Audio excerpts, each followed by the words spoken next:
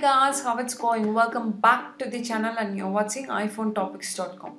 Today in this tutorial, I'm going to share you a few secret tips to get rid of this Mac storage error and also watch this video till the end to know the cool software I'm going to show you guys.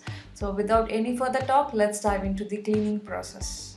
Cleaning process number one manage storage on your Mac. It is an option available on Mac and also it is a simple process. Let me show you how to do it. First tap on Apple logo, then select about this Mac and then choose storage option and select manage. This will take you to the page that I was talking about. Here you could see four options. One is store in iCloud which helps you to move all your files and data to the iCloud drive but you have to buy storage if needed. Next is optimize storage. When you click on optimize storage, this will straight away erase all the watched iTunes movies, TV programs, etc. Next, when you turn on empty trash automatically, it will delete all the trash which is older than 30 days.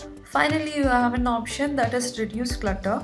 This will help you to find and list all the files that are no longer in use. So you can delete it easily. If you still don't have enough space, then try to follow other methods that I am showing in this tutorial. Cleaning process number 2. Delete system and browsing caches. Every time when we browse something or create things, caches will be added to the system or the browser. So deleting it will help you to free some space on your Mac. So let me show you how to do it. First, let me show you how to delete the system caches. For that launch finder, then tap on go and press and hold the option key and select library. Then open caches folder and uh, select an folder. So you could see the caches here. Select all then move this file to the trash so repeat this process to each and every folder on the caches area. But remember not to delete the folder itself. You just want to delete the file. Next is delete caches on browser.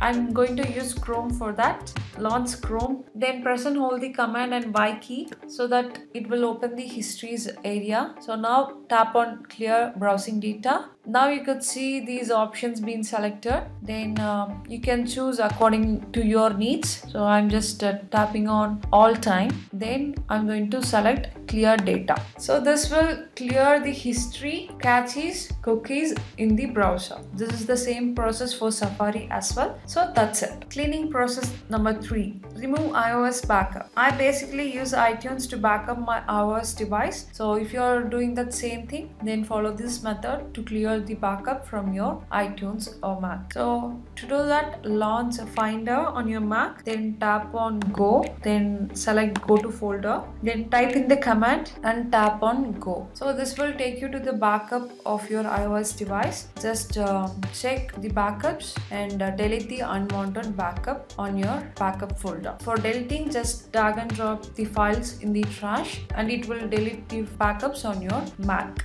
Next, cleaning process number four, remove iTunes backup. If you are having any iTunes backup, let us delete it also. So it will free up some space on the Mac. So to do that, launch Finder, tap on go, then select go to folder, type in this command and tap on go. So this will take you to the iTunes library. Check the older version of the backup and delete it by moving the file to the trash. Cleaning process number 5 Empty trash. After deleting all the files, we are going to empty trash finally. So to do that, launch trash, then select empty and tap on empty trash.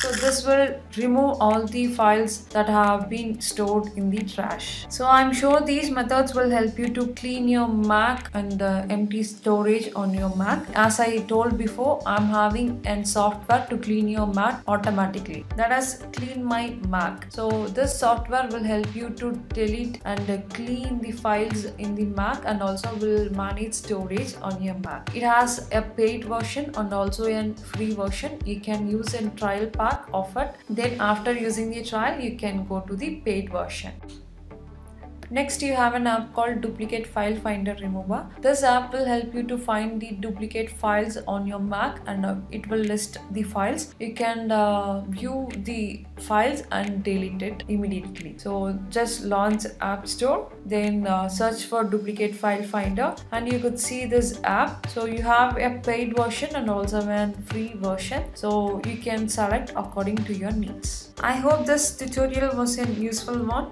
If you have any doubts or comment leave that in the comment section below. And if you like this video consider subscribing to iphoneTopics.com thank you